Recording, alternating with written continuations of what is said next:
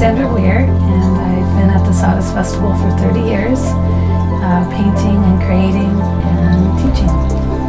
And today I am uh, starting a watercolor painting by uh, working in graphite first. And this is the way I do it.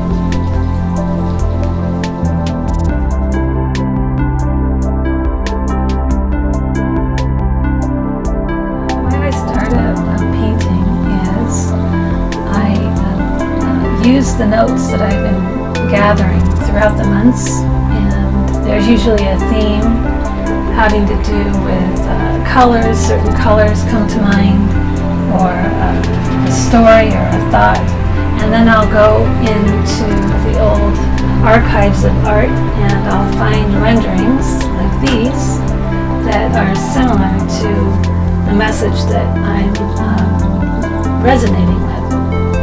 So though there won't be an angel per se in this piece, there might be the, the drape of the dress or the angle of the wing or perhaps this archway here will end up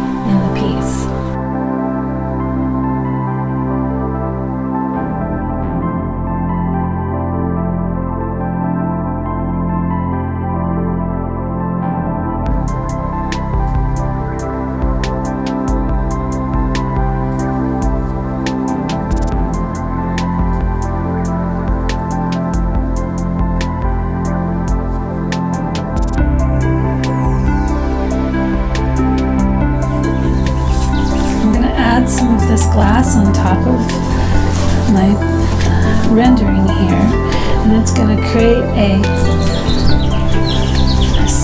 negative space where the watercolor won't go on for this first layer.